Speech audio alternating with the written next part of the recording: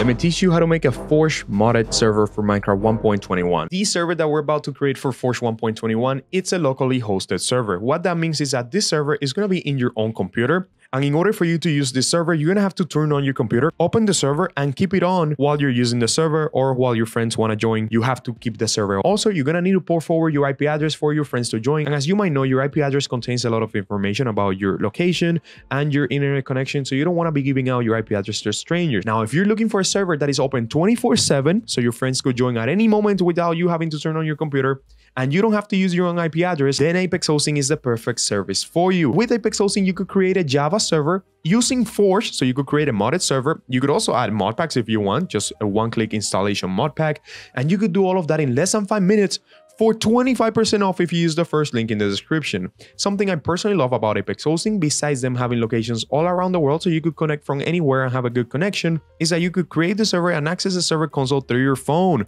So no matter where you are, you could be away from your house, you could be at Walmart, and still control your server and change any settings that you want to through your phone. Again, create a Forge server using the first link in the description for 25% off, and now let's keep going with the tutorial. Now, if you determine that you want to create a Forge server, go ahead and click on the second link in the description, scroll down to step 1 and click download Forge here. That'll bring you over here where you're going to select 1.21 and then go ahead and click on installer.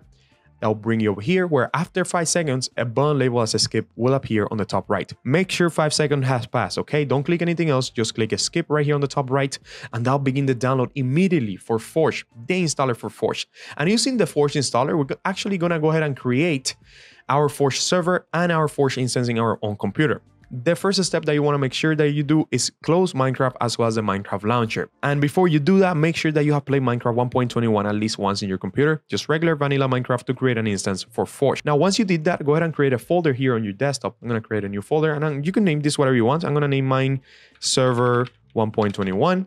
This is just a folder that we're going to use to create our server. So now the first step is going to be to install Forge as a client. Forge for yourself. You're going to need to install Forge if you want to join a Forge server, and your friends are also going to need to install Forge if they want to join your Forge server. So to do that, just go ahead and right click on the Forge installer, click open with, and select Java that is going to open the installer in here. And if you don't get to open this installer because you don't see Java in there, give me a second I'm going to show you how to fix that. Anyways, those of you that were able to open the Forge installer, select install client and click OK. And while Forge is installing, if you weren't able to open it, make sure that you have Java 21 installed on your computer this Java right here, I'm not talking about Minecraft Java, I'm talking about Java as the programming language that will allow you to open the Forge installer. You need Java 21. The thing is that after the Minecraft update 1.20.5, you're going to need Java 21 to open the Forge installer and to open any jar files in your computer. So just check that link in the description to download and install Java, and then you'll be able to open the Forge installer. You might have to get rid of your older Javas by going to auto remove program, but once you do that, you're going to be able to open the Forge installer. Anyways, once you install Forge in here, go ahead and click on OK. And now we have Forge installing our computer, but we don't have a server yet. So to have the server, what you're going to do is double click on the Forge installer or right click and click open with again and select Java. And in here, instead of installing client this time, we're gonna select install server. And down here in this line that it's all red right here, you're gonna click on these three dots. That is going to open this over here where you're going to find this folder in here. So head over to your desktop if you have that folder in there and select server 1.20.1, click open. And now we're gonna go ahead and click on OK and the extraction and installing part of the video for the server will begin. If you open this folder in here, you will see that a lot of content is being added into this folder as we're speaking as the Forge server is being created. Let's go ahead and wait for this to finish in here. Okay, guys, and after the extraction completed, you're gonna see this sign in here. Go ahead and click OK. And now we could even delete the Forge installer. We don't need it anymore. Now let's go ahead and open this folder and concentrate in here. Okay, so what you're gonna do now is that you're gonna see this run.bat file in here. All you have to do now is double click on that run.bat file to start extracting more files into this folder. So go ahead and wait for this to reach this point where it says press any key to continue and we're going to press whatever. I'm going to press enter and it's going to close down. Now you're going to see this eula.txt file here in this folder. So go ahead and open that eula.txt file. It's just a text document. And what you're going to do is change this line here that says eula equal false to eula equal true. So simply change the EULA equal false to EULA equal true. And with that done, go ahead and click on file, click save and close this document in here. And now we're gonna go ahead and double click on the run.bat file once again to run the server. Let's go ahead and double click on that and wait for the server to start loading. This is actually gonna create your server completely and it's also going to open the server app so anybody could already join your server as long as they're under the same internet as you, okay?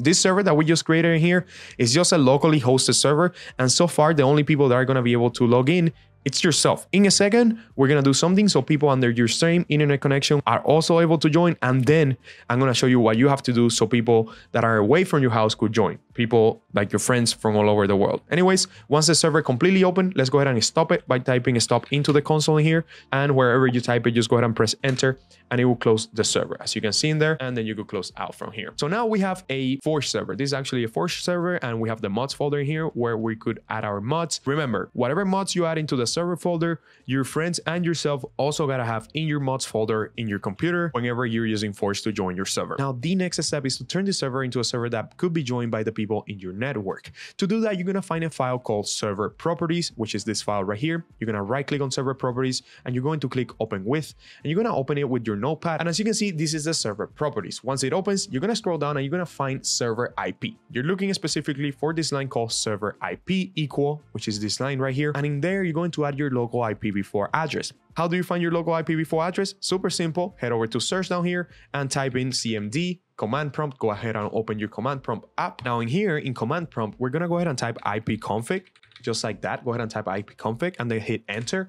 And that is going to give you a lot of information. From here, just go ahead and select the one that says IPv4 address, this line right here, and then go ahead and copy that line, select the numbers, just the numbers, and hit Control C and close out from command prompt and head back into here into the server that properties and in the server IP, go ahead and paste that IPv4 address. Now, this IPv4 address is the address that you're going to use to join your own server, and that's also the address that your friends are going to use as long as they're under the same network as you. As long as your friend is in the same internet as you, they're going to use that address to join your server, and I'm going to show you how to do that in a second through Minecraft. So go ahead and select that number and copy it again. Make sure that you have it selected to then join your server. Now you could close out from here from the server properties. You could also use the server properties to change anything else that you want from your server in here. There's also other options you could customize. Go ahead and close out from the server properties. Now, before we go ahead and launch the server again, I do want to let you know that if you want to change the RAM of your server, just double click on user JVM, this text document right here. Go ahead and open it up. And right here at the end, you're going to see the RAM amount. All you have to do if you want to add that RAM to your server is delete this hashtag in front of it. And then here, just type whatever amount of RAM you want to give your server like the max amount of RAM. So right now it has 4 gigs.